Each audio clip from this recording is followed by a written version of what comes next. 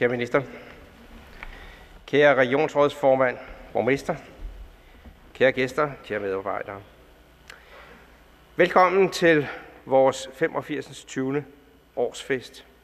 Jeg håber, vi alle sammen får en god og oplevelsesrig dag her i smukke omgivelser. Jeg synes i øvrigt, at vi gennem årene ved den her årsfest har fundet en rigtig god blanding af fest og højtidlighed, af form og af formløshed. Jeg synes selv, at det er symbolsk for det her universitets syn på sig selv og på sin omverden. Torgild Simonsen har lettere fortalt mig her til formiddag, at han var med i kjoler hvidt i 60'erne, og det var studenterne ikke glade for. Han var også med, da rektor smed kæden, for den var studenterne heller ikke glade for. Han var også med, da rektor tog kæden på igen, og det var de heller ikke glade for. Nu er vi alle sammen glade.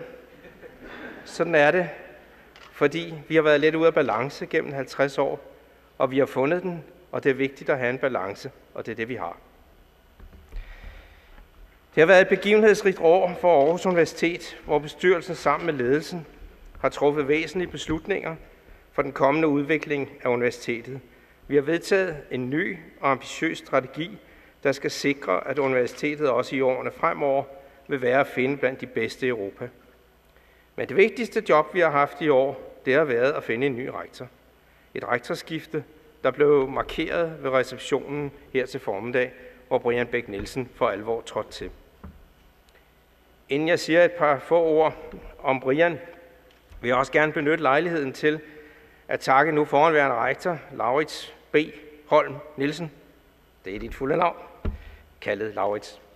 Der igennem otte år har stået i spidsen for de største fusioner og de største reformer, som Aarhus Universitet, ja noget dansk universitet, har gennemlevet.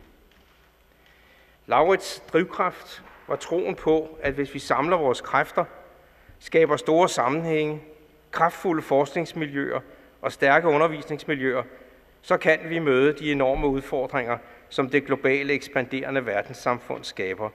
Og det er jeg og hele bestyrelsen fuldstændig enige i.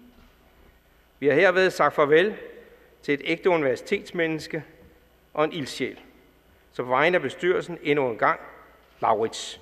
Tak. Til at videreføre det nye Aarhus Universitet ansatte vi fra august Brian Bæk Nielsen.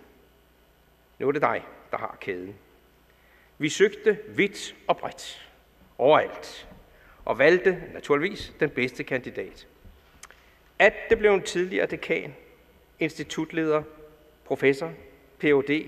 og studerende fra Aarhus Universitet hele vejen igennem, altså en ægte Aarhus-akademiker, der lever og ånder for dette universitet og dets gule mursten. Det lå altså ikke i kortene på forhånd, men sådan blev det. Og Aarhus Universitet har nu fået en rigtig jysk jøde fra Jylland, der også taler en slags jysk i spidsen. Jeg er ikke i tvivl om, Brian, at du også vil have blikket rettet mod de internationale udfordringer, hvilket din karriere i høj grad vidner om. Dybt forankret som du er i universitetets og regionens traditioner, vil du vide at fortsætte sig lasen mod både globale, men også lokale mål. Og det vil du gøre med respekt for andres opfattelse, og ikke mindst din egen lyst til at blive klogere. Kloge ledere bliver altid klogere. Det er bestemt ikke nogen let opgave, der venter dig og den øvrige ledelse. Tiderne har ændret sig, og foran os ligger jo ikke de samme forøgelser og investeringer og videnproduktion, som kendetegnede nullerne, som de hedder. At viden er vejen til vækst, står dog stadig højt på politikernes ønskeliste. Men en vis økonomisk stagnation vil nok blive vores dagsorden i fremtiden. De økonomiske realiteter har bevirket, at der i dag er langt mere fokus på konsolidering, på forankring, på stabilitet og stabil drift. Og det gælder også os. Når det er sagt, vil jeg gerne kvittere for, for regeringen, at de i en tid med økonomiske udfordringer af denne her art fastholder niveauet i vores bevillinger i det seneste finanslovforslag. Samfundet investerer stadig massivt i universiteterne og stiller helt berettigede krav til universiteterne. Og det er vi glade for. Et universitet skal være på omgangshøjde og i balance med sit samfund. Så har vi det rigtige udgangspunkt og den rigtige forståelse for samarbejdet med stat, kommune, region og måske især det arbejdsmarked, offentligt som privat, der skal aftage vores dimittenter. Og dem er universitetet blevet storleverandør af i takt med, at vidensbehovet i samfundet nærmest er eksploderet. Universiteterne har nået regeringens og Folketingets målsætning om, at mindst 25 procent af en ungdomsårgang skal have en længere videregående uddannelse. Og på 50 år er antallet af studerende alene ved vores universitet her vokset med en faktor 10 fra 4.000 til 40.000. Det er et stort privilegium, at vi på den måde kan være med til at præge så mange unge mennesker. Uddannelse af nye kandidater er universitetets vigtigste mission og en opgave, som skal tages alvorligt. At uddanne så stort et antal unge mennesker stiller store krav til vores uddannelsessystem og til universiteterne.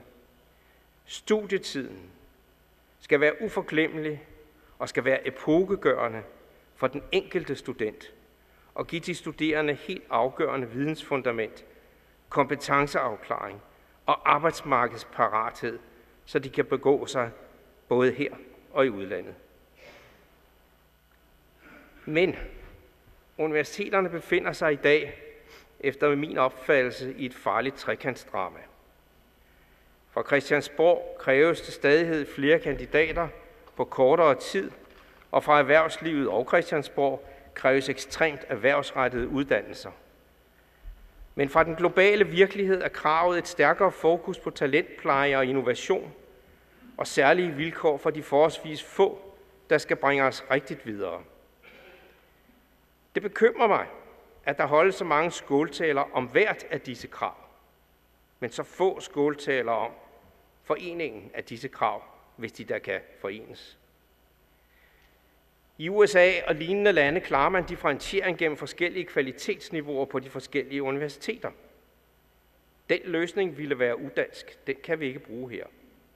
Men det er heller ikke en løsning at sende vores bedste talenter til udlandet, for at de der skal finde kvaliteten.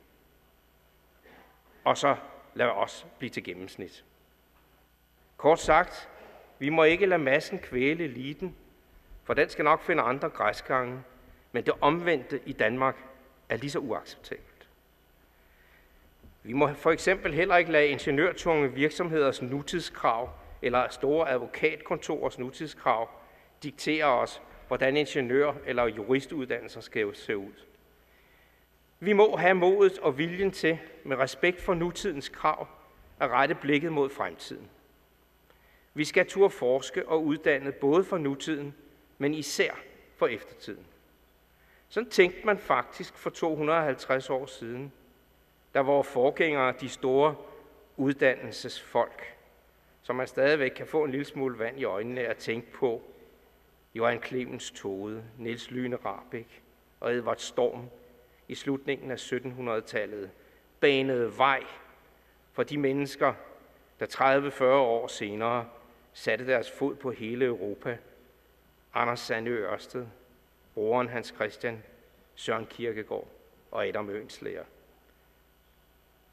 Jeg savner i ny og næ datidens driftige skønånder, der beskæftiger sig sideløbende med livets store spørgsmål.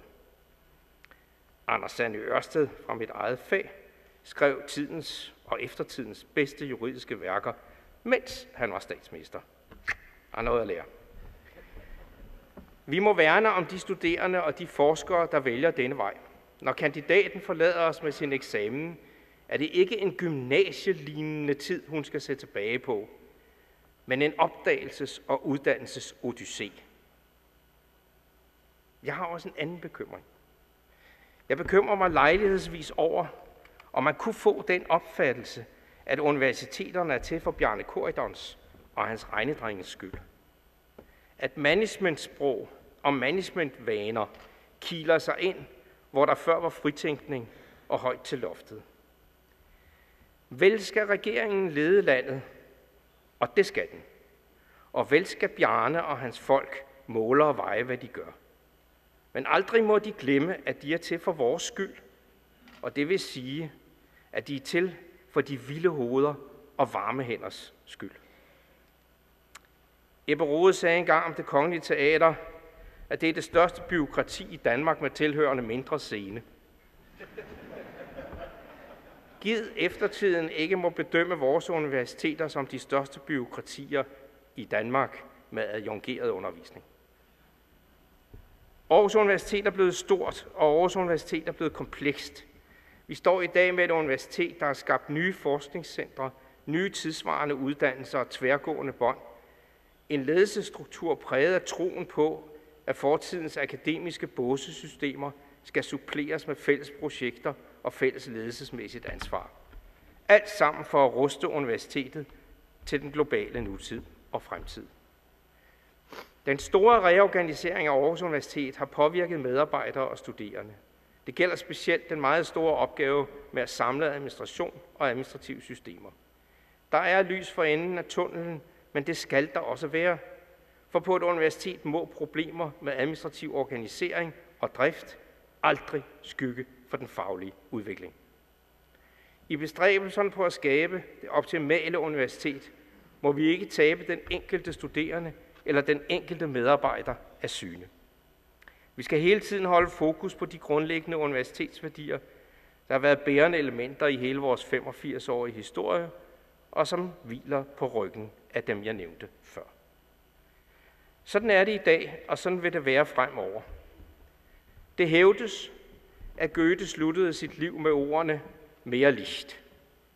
De, der ved meget om Goethe, ved også, at det sandsynligvis ikke var det, han sagde, men eftertiden mener, at det var det, fordi det ønskede man, han sagde, og hvis han ikke havde sagt det, så ville han have sagt det, hvis han havde kendt eftertiden.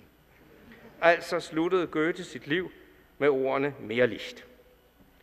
Lys som oplysning, lys som tolerance, lys som frihed og lys som søgende efter sandhed.